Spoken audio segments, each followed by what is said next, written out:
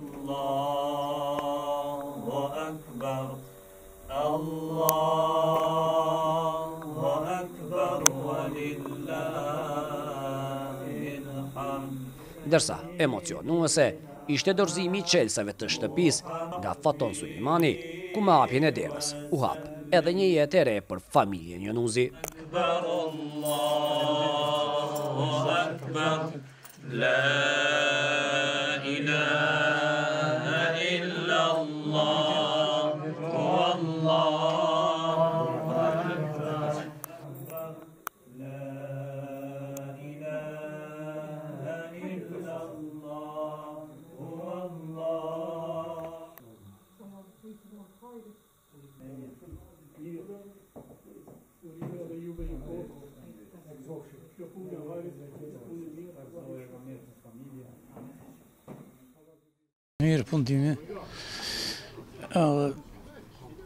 shumë mirë, Fatoni e ka marrë atë iniciativën dhe ka kri.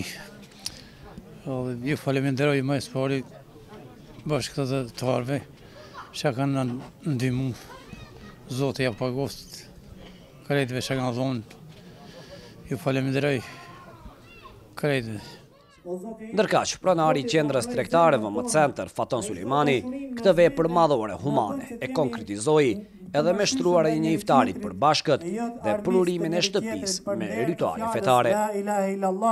Dhe Kur'ani famëlartë.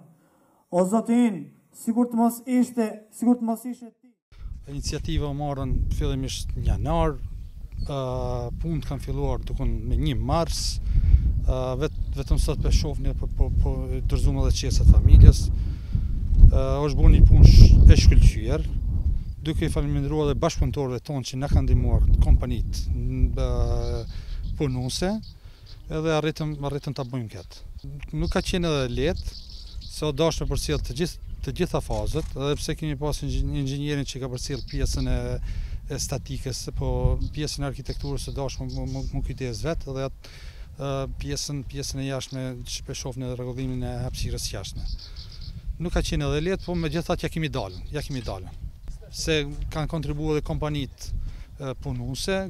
I falimenderoj në mënyrë gjenerale të gjithë bashkëpunëtorët tonë që kanë ndihmuar, se na kanë përkrah jashtëzakonisht na kanë përkrah. Duke i falimenderu edhe mërgatës që kanë kontribu jashtëzakonisht, na kanë ndihmuar, edhe familjarët e Mefailit, po edhe të tjerët e kanë ndihmuar. Edhe kryetarja e Preshevës, Ardita Sinani, e ka çmuar lart këtë vepër humane, duke falendëruar në mënyrë të veçantë Faton Sulejmanin, por dhe gjithë kontribuesit e sidomos pjesën e diasporës.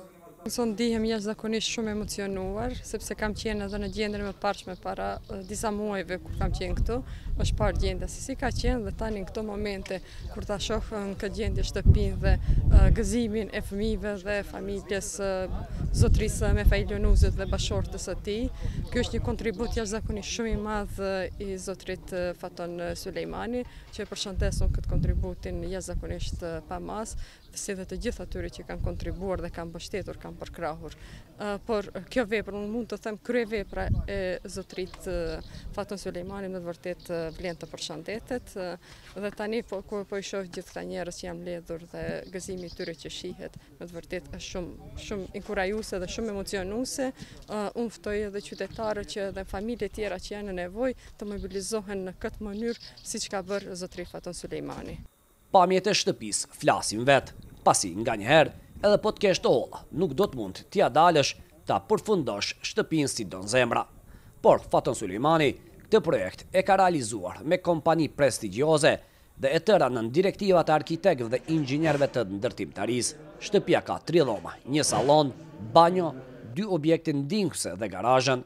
Ndërsa, edhe pamja e jashtme nuk do koment, pasi gjithçka është e re, muri përreth me gjatësi afro dyqind metër, shtruarja e oborrit me pllaka betoni, hapja e dy puseve për ujë të pijshëm dhe gjelbrimi i oborrit janë disa nga punët e kësaj kryevepre.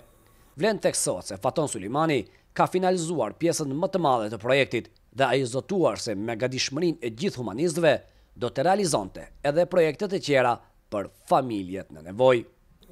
Familja Jonuzi sot drekën e Bajramit e ka shijuar me emocione tjera, për dallim nga kohrat kur jetonin në gjendje të vështirë ekonomike.